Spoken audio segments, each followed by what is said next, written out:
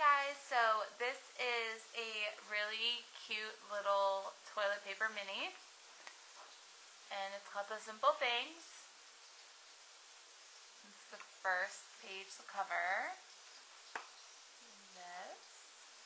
And then it has a tag.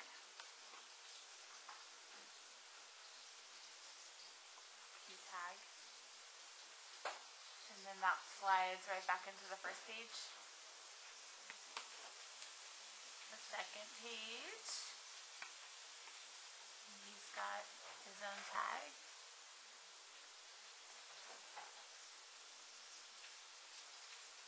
And that slides right back in there. And the last one. So like I said, this is a really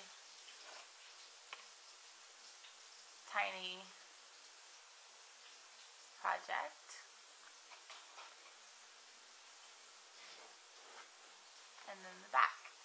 And then so all of these can have pictures on them. And then the tags can have pictures and journaling too.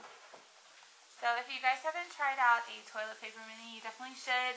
They're so easy, so fast, cute little. And I hope you guys have a great time making one of these. Bye.